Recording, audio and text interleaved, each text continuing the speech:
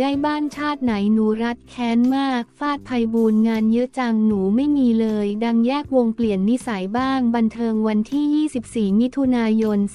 2567 8นาฬิกา 13 นาที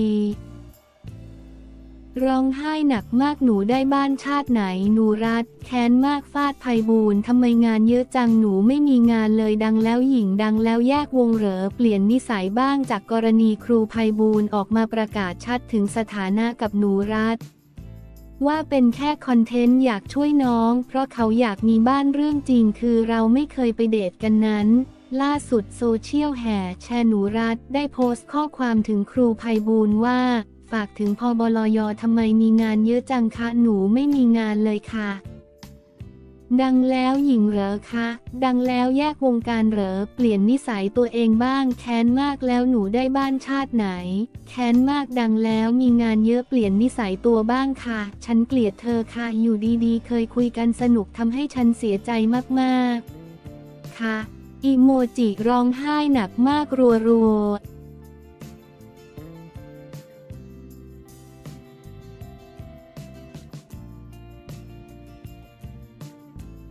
จับโกงไม่ง่าย เลขากฎ ชี้คนทำมีอำนาจเงินพบร้องเรียน 333 เรื่องจี้เจ้าหน้าที่สอบเข้มการเมืองวันที่ 24 มิถุนายน 2567 11นาฬิกา 44 นาที เลขากกตเผยพบร้องเรียนเลือกสอว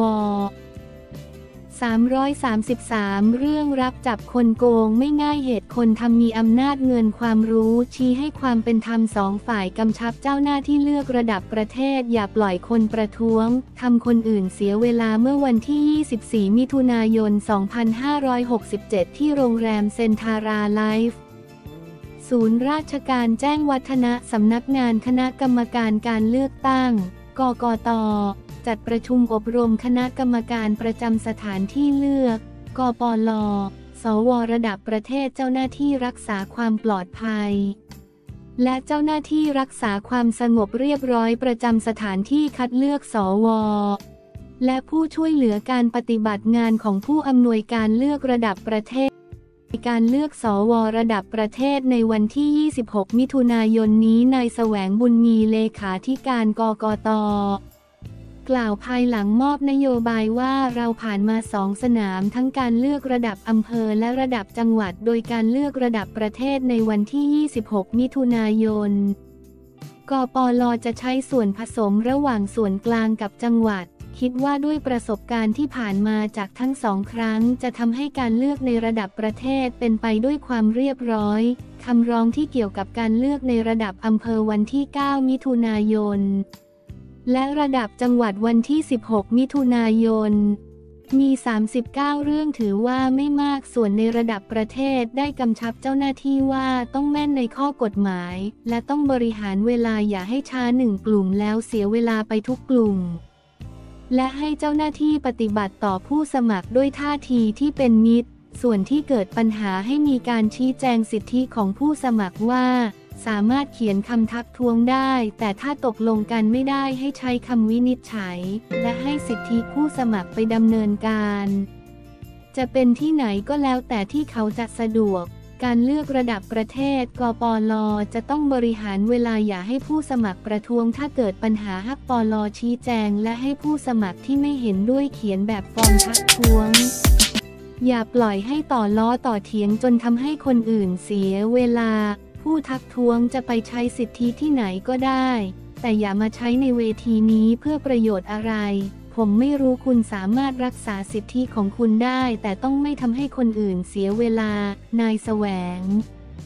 กล่าว เมื่อถามว่ายังมีข้อกังวลเรื่องการใช้ช่องว่างทางกฎหมาย ล้มการคัดเลือกสัว หรือไม่นายแสวงกล่าวว่าไม่กังวล แต่ในฐานะผู้รับผิดชอบกระบวนการต้องรักษากระบวนการการเลือกสอวอไว้ นั่นคือการรักษาเป้าหมายให้ได้สอวอ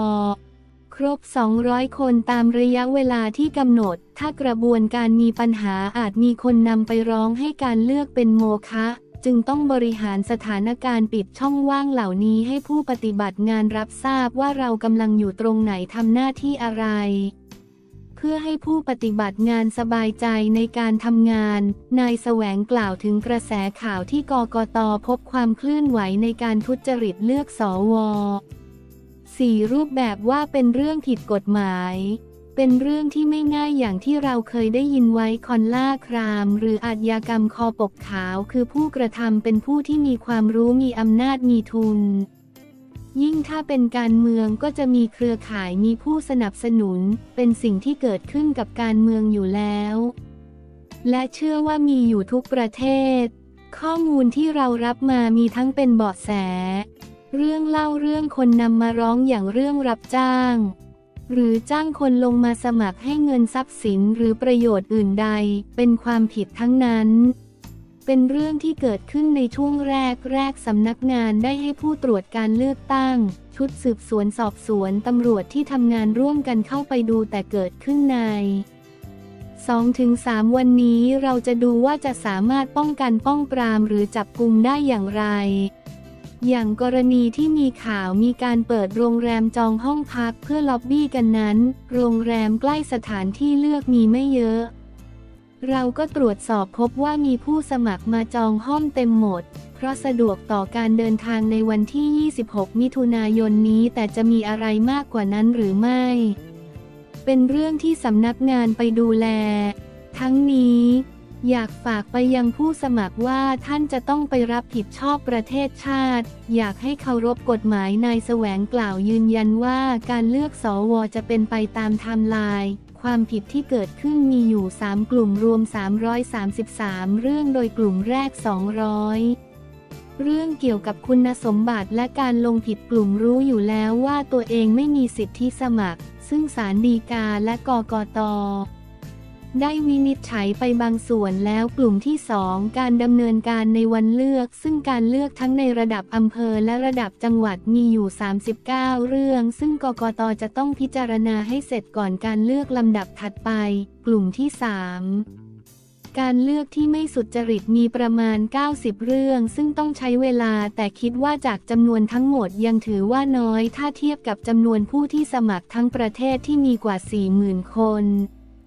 เมื่อถามว่ากรณีมีฝ่ายการเมืองเข้ามาสนับสนุนผู้สมัครในการคัดเลือกสัว นั้น นายแสวงกล่าวว่าตามกฎหมายให้คนที่เป็นสวต้องเป็นกลาง แต่ถ้าพูดกันแบบทั่วไปก็คือการเมือง แต่กฎหมายห้ามนักการเมือง2-3เรื่อง คือห้ามช่วยให้ได้รับหรือเป็นสว และผู้สมัครเองก็ต้องไม่ให้ฝ่ายการเมืองช่วยให้ตัวเองได้รับการเลือก ไม่ว่าจะจัดตั้งหรือให้ทรัพย์สินซึ่งเป็นความผิดตามกฎหมาย แต่การเมืองบางที่เป็นเรื่องการสมยอมสมประโยชน์กันทำให้กกตทำงานยากขึ้น ที่จะเข้าไปจับกลุ่มแต่มีในบางส่วน เป็นเรื่องที่กกตหาเองจึงให้ความเป็นธรรมกับทั้งสองฝ่าย เพราะเมื่อมีการกล่าวหาว่าให้ทรัพย์สิน แลกตำแหน่งเช่นมาอยู่ทีมเดียวกัน ถ้าตนได้เป็นสก็จะให้มาเป็นผู้ช่วย หรือนั่งเป็นกรรมาธิการแต่กฎหมายได้ออกแบบไว้หมดแล้วยืนยันว่าจะไม่กระทบต่อไทม์ไลน์แน่นอน ส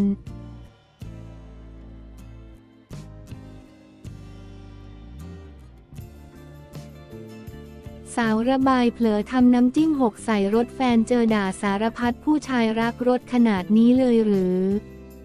เด่นออนไลน์วันที่ 22 มิถุนายน 2567 18นาฬิกา1นาที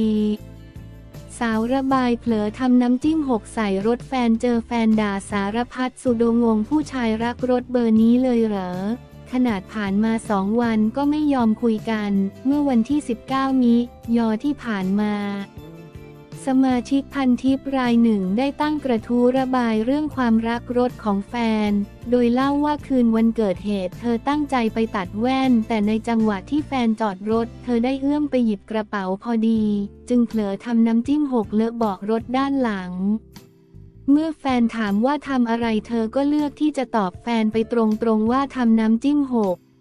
หลังจากนั้นเธอก็รีบวิ่งไปที่ห้องน้ำเพื่อกดสบู่มาทำความสะอาด เมื่อเธอมาถึงแฟนก็พูดกับเธอว่า โคตรเยอะเลยฝาก็ปิดไม่สนิทดีทำไรวะโห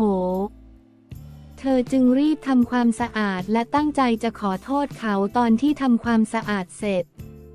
อย่างไรก็ตามแฟนยังคงไม่หยุดโมโหเขาด่าว่าเธอสารพัดเธอจึงแก้ปัญหาด้วยการเลิกไปร้านตัดแว่น และไปร้านล้างรถแทนแต่แฟนได้พูดสวนว่า เวลานี้จะไปร้านล้างรถที่ไหนและร้านคงไม่ถอดเบาะออกมาล้างให้หรอก เธอจึงเสนอไปว่าถ้ายอมจ่ายเงินเพิ่มร้านก็คงทำให้ แต่ดูเหมือนว่าแฟนจะไม่ฟังเขาเริ่มด่าเสียงดังขึ้นเรื่อยๆ เธอรู้สึกอายคนอย่างมากจึงเถียงกลับไปว่า ต้องโมโหขนาดนี้เลยเหรอ เพราะเธอเองก็ไม่ได้นิ่งนอนใจซึ่งแฟนตอบกลับมาว่า นี่กูไม่มีสิทธิโกรธหรือโมโหเลยเหรอ ต่อมาเธอเลือกที่จะกลับบ้านแล้วรีบเอาที่เป่าลม ทิชชู่น้ำยาล้างจานอุปกรณ์ต่างๆ มาทำความสะอาดรถแทนเมื่อถอดเบาะรถออกมาดูก็พบว่าน้ำจิ้มหกบนเบาะเยอะก็จริง แต่มันไหลลงใต้เบาะน้อยมาก